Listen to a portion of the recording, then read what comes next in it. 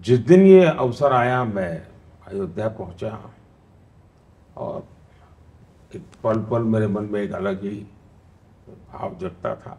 और प्रत्यक्ष में जब रामलला की मूर्ति के सामने खड़ा रहा उन आँखों की चमक, एक निर्दोष चेहरा हल्की सी मुस्कान।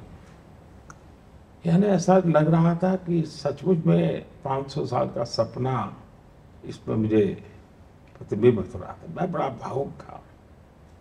मेरे पास उस परिस्थिति का वर्णन करने के लिए शब्द तो नहीं है। लेकिन उनकी आँखें उस पूरा पूरा व्यक्तित्व मुझे जीवंत लग रहा था, जैसे हम बात कर रहे हैं। जैसे हम कुछ, उनकी तरफ़ से कोई संदेश आ रहा है, हम उस संदेश को स्वीकार करने के लिए जैसे तड़प रहे हैं। एक ऐसा नाता था और बीच में कोई कर्टेन नहीं था। हम एक बहुत बड़े लोग हैं जो शायद इसको मैं समझा नहीं पाऊँगा, कभी भी नहीं समझा पाऊँगा जो मैं फील करता था। मैं अभी भी दोबारा एक बार गया था। तो जो ट्रस्ट के नियम उस प्रकार से मैं गर्भगृह में तो नहीं जा सकता था।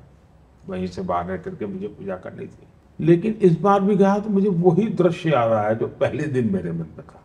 मुझे ये ध्यान ही नहीं रहा कि मैं आज, ये दिन बदल चुका है, मैं कई महीनों के बाद आया हूँ। मैं उसी में फिर से एक बार खो गया बड़ी भक्ति भाव से जो कुछ भी कर सकता हूँ कर करके मैं और जब मैं इस प्रकार की स्थिति में होता हूँ, मैं कुछ माँगता माँगता नहीं मुझे मेरे मन में 140 करोड़ देशवासी होते हैं, उनका कल्याण होता है, मेरे देश का कल्याण होता है। और मुझे लगता है कि जब मुझे वहाँ ट्रस्टियों ने बताया कि साहब, यहाँ लाखों लोग आते हैं यात्री बहुत बड़ी मात्रा में आते हैं। लेकिन 20-30 परसेंट ऐसे यात्री होते हैं, जो एक एक खंभा पकड़ करके रोते हैं। बोले, हम उनको खंबे से छुड़वा करके दूर करना हमारे लिए मुश्किल हो जाता है। शायद ही कोई होगा जिसके आँख में आँसू ना आते।